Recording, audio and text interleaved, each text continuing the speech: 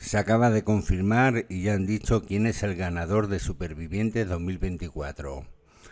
Ha estado muy reñido, con un 46 y un 54% de los votos, y al final el ganador ha sido, como no, Pedro García Aguado, como no podía ser otro, porque ha sido un hombre que ha ido a supervivencia, ha ido no a jugar, sino ha ido a sobrevivir.